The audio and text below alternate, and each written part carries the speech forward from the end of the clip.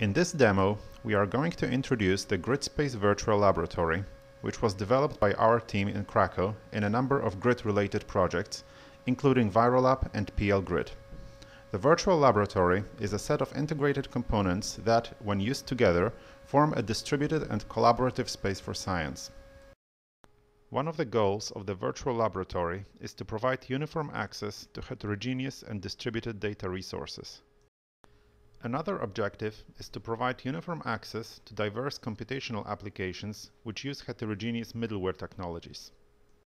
Finally, an important goal is to provide a platform for multiple users and teams involved in collaborative development and execution of complex scientific applications.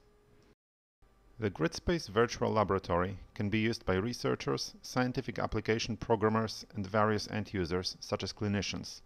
Each user receives a dedicated interface which communicates with the runtime system responsible for application execution. The applications integrate multiple computational and data access resources, exploiting the underlying infrastructure. The virtual laboratory is equipped with tools for user-friendly experiment creation and execution, enabling the reuse of existing experiments, gathering and exploiting provenance information, as well as integrating geographically distributed compute and data resources. The Experiment Management Interface is the user interface of the GridSpace Virtual Laboratory. Developed in the ViroLab project, it is being extended in PL-Grid. Access to the virtual laboratory is secured using the Shibboleth system. The virtual laboratory enables the development and execution of complex applications called experiments. The user can view the list of experiments stored in the experiment repository, which is designed to facilitate collaborative work.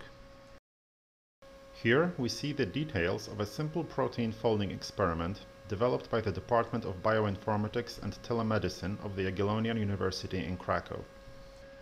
In GridSpace, the experiment scenarios are programmed in the Ruby scripting language.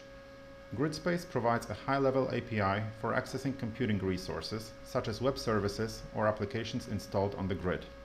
The high-level API hides middleware-specific details and enables users to invoke remote resources in a simple way.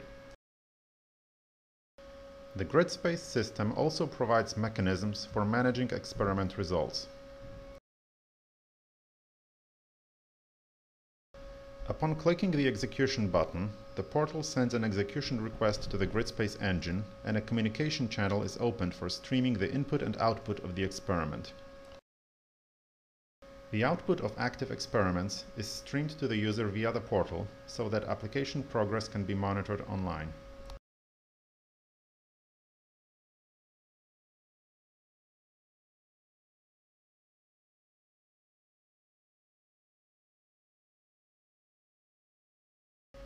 The Result Manager allows browsing and querying results basing on their semantic types.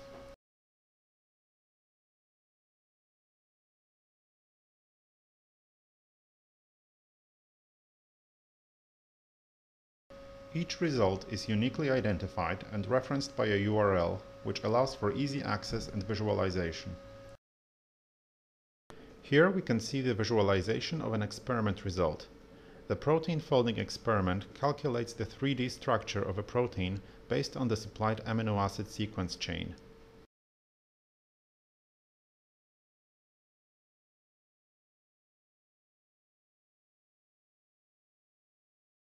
For more information and to test our tools, please visit our website at gs.cyfronet.pl.